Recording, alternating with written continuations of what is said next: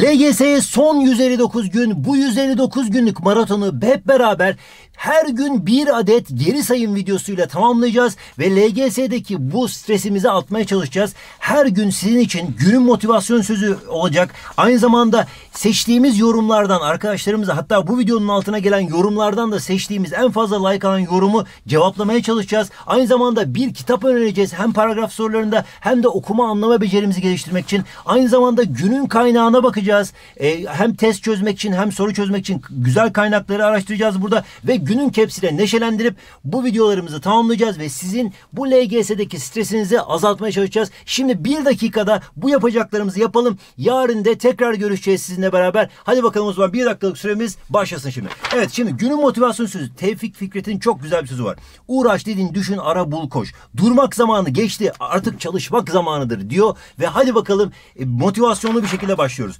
Mesela e, Osman Caner'in bir e, Canker'in bir sorusu var. 934 beğeni almış. Zor matematik soru nasıl yapılır? Bu ders nasıl sevilir?